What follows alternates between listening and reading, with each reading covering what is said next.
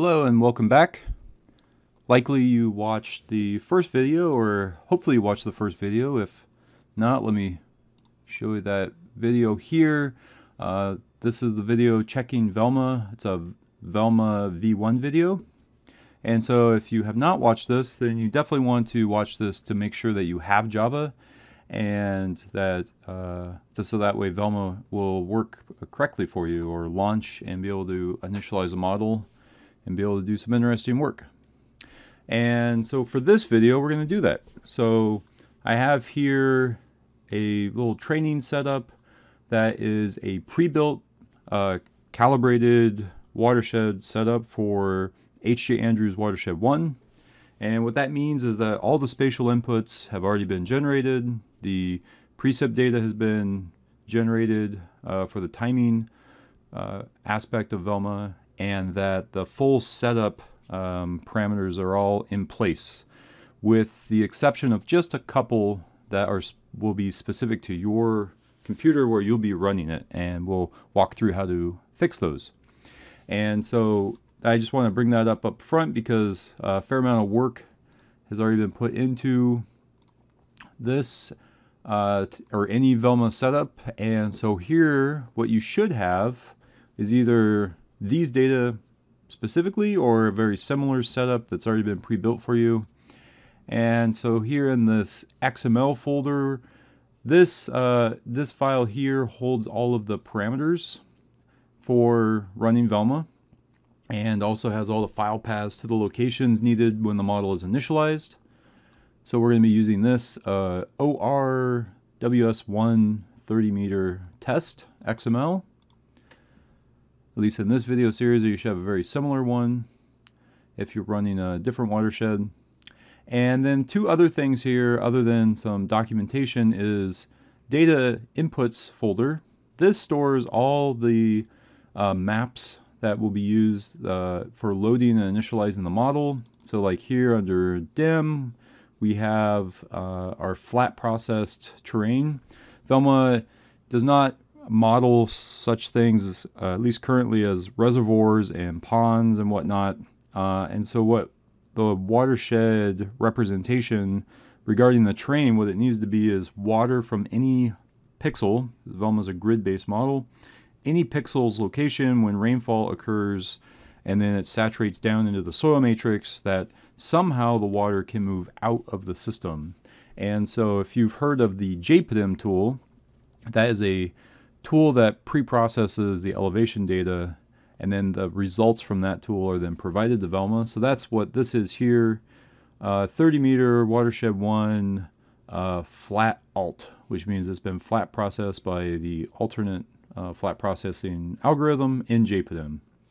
Uh, and then some other things in here, like we have some weather data provided as CSVs. So Velma does not um, does not it's not a model that has built-in weather modeling capability. It just accepts the data that has been provided regarding daily average air temp in celsius and uh, the total precip in millimeters precipitation in millimeters.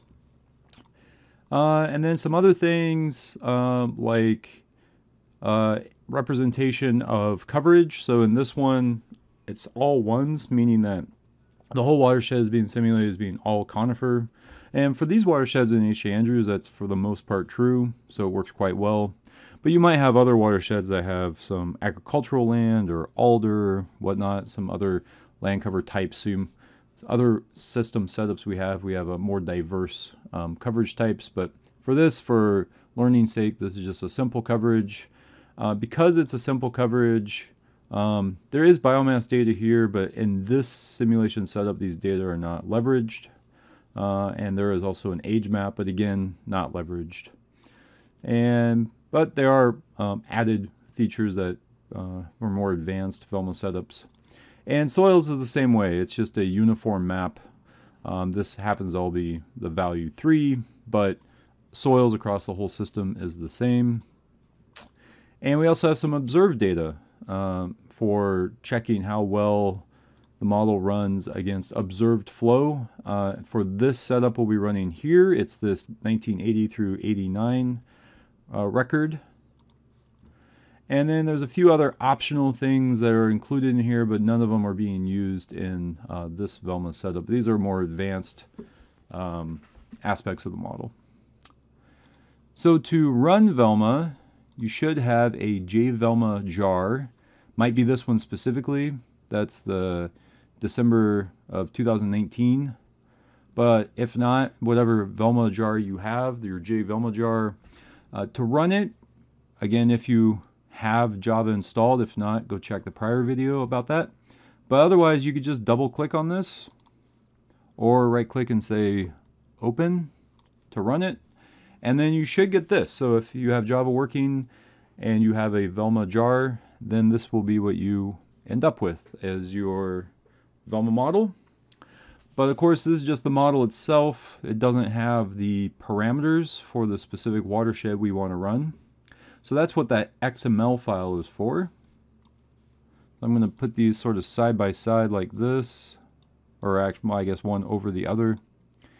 And in the folder here, under the inside the folder uh, XML, then we can load this XML parameter set uh, two ways. You could either navigate to this location by doing file load configuration from Velma XML file, or if you have the window open where it is, you can drag and drop.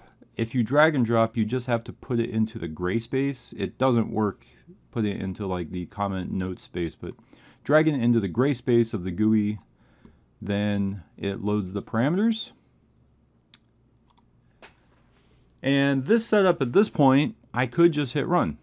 Uh, again, pre-built, all the various parameters have been put into place to make this run well and is leveraging uh, calibrated coverage for conifer trees with an appropriate uh, soil representation for watershed 1 and it has um, some pretty good climate data and excellent observed flow. So everything here is a typical Velma setup all in place.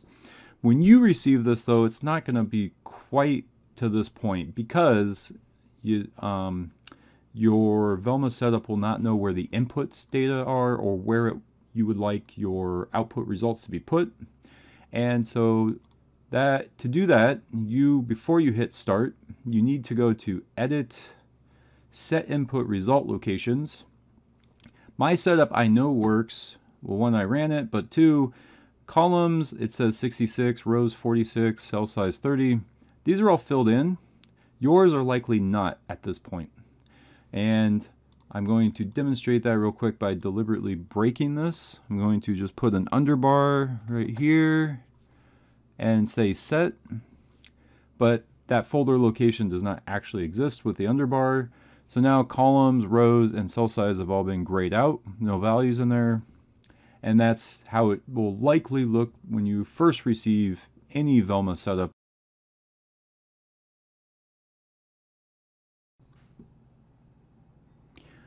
So to get it working on your computer, what we need to do is set the correct uh, input location for the data and output for where you want it. So again, we'll go to set input result locations. I'm going to browse to where it is because I actually have two copies of this on my computer. So I'm going to go to see users. Sorry, one sec here. There we go. So for me, it is on my machine here under simulations, training. Come on, go inside training. There we go. Watershed 1, 30 meter and then select the data inputs. Or, er, I think that's too far. We do not want to select data inputs. We just want to be where the data inputs are located. And then a nice little trick to get to the same place is if you copy where you were at and paste it right here, then when you hit browse, it will honor this file path. And I can just go back one level uh, and go inside or actually go up a level go inside and then select results for where I want my outputs to be. And if I hit set Now it has then corrected my columns being 66, rows being 46, cell size 30, which is a good sign up front that the model is then able to access the data. At this point, you may want, you'll likely want to change the simulation name. So I'm going to, this is called test. I'm just going to tag on today's date for me, uh, 28th of October, 2021. And then if you do file save, it will then save this setup with the name that was just input. So I'll go ahead and hit save file. If you've already saved it with that name, it will ask you if you want to override it, which then you'll likely say yes. So at this point, I can hit start.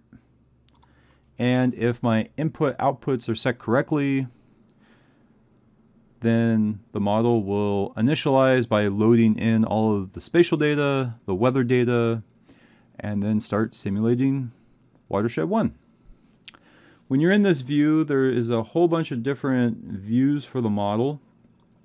The default front view here is looking at runoff and precip, stuff about the plant carbon, etc., soil carbon, and various things like dissolved organic nitrogen, NH4, NO3, DIN, etc.